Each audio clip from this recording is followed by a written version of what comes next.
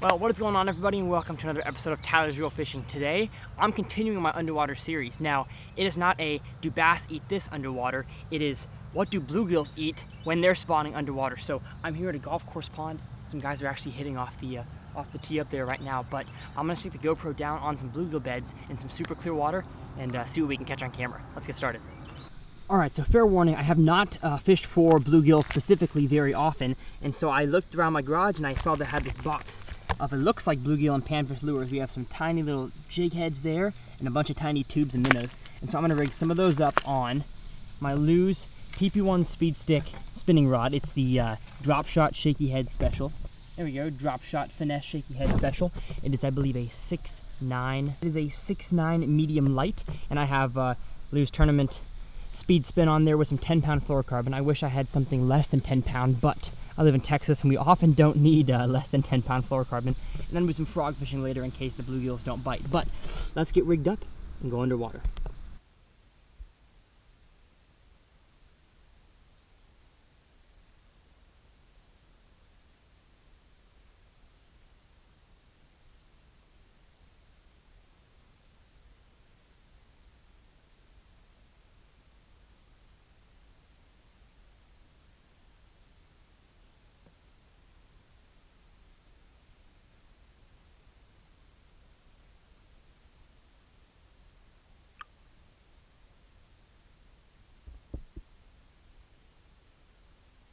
All right, so that fish didn't seem to care for my uh, little white shad imitator one. We're gonna switch to like a yellow or a pink, see if that gets him. My good old, my good old buddy Clark Manis told me that bluegill are a lot more picky when it comes to colors than bass are. So let's give this yellow neon chicken color a try and see what we can get.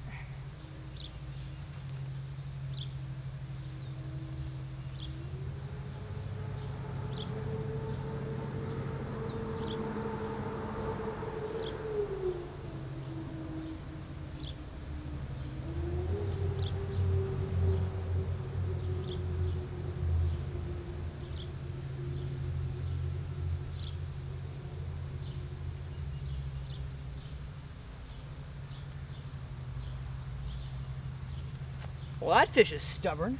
Goodness gracious. One more color change. Goodness gracious.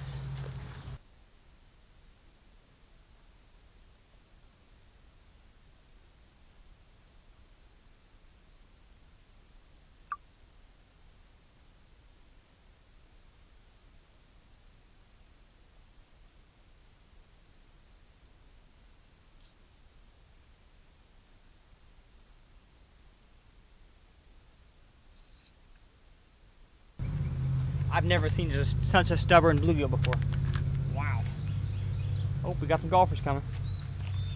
Gotta watch out.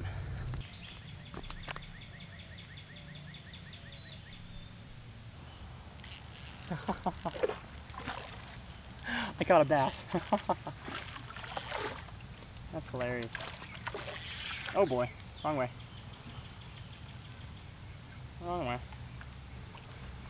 Get out of there, big boy. Come on. That's hilarious. I was looking at these bluegills and all of a sudden my line starts running. I wasn't even facing down at the camera, but uh, cool. Little bitty guy. He ate the uh, he ate the tiny grub. Hopefully it's a cool thumbnail of some kind, but nice golf course little bass here. People are teeing off and, uh, and hitting, but cool. All right, see you later, bye. Well, got more luck catching bass like I always do than, uh, than bluegill. All right, so basically all the tactics that I've tried to catch this bedding bluegill so far are uh, jigging it up and down in front of its face, away from its face, uh, letting it sit on the bottom. What else have I done? I've hit it repeatedly in the head and the tail like I do a bass, and nothing works so far. Um, the fish hasn't really, I mean, he doesn't move all that much. He just kind of sits there. And like, I'll, I'll put it right next to his face and jig it, and he won't even make a concerted effort to check it out. So I'm not sure what to do, but we're gonna figure it out. I might call my buddy Nick, the informative fisherman, here in a second. All right, so we have switched beds here. I uh, haven't given Nick a call yet, but I will probably soon in case I can't catch this fish, but this one seems more catchable, so let's see what it looks like. It's polarized, sunglasses.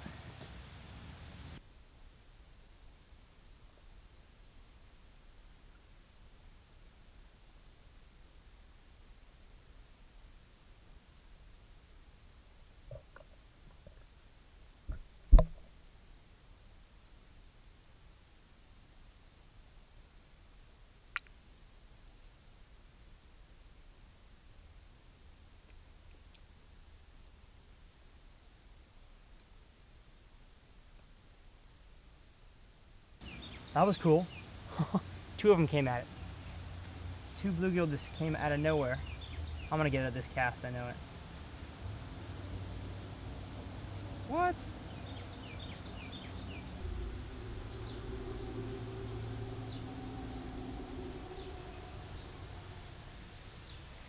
Oh, ah. Did I foul hook him? Ah, I might have foul hooked him. Man. No, I did not. He ate it. Oh my goodness. I caught him, I caught him. Wow, what a beautiful, beautiful fish. Look at that, he's peeing at me. That is cool.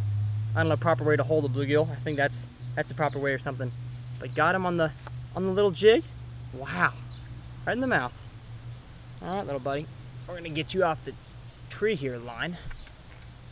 Nope, or not. We're just gonna unhook it. Wow, that's cool. Beautiful, beautiful panfish. Never been so jacked to catch a, a bluegill in my life before. I think it's a bluegill. Could be red ear. Comment below what this is. I have not done a whole lot of uh, multi-species fishing, but that's cool. Wow. All right, I love it. Woohoo! All right, see you, hombre.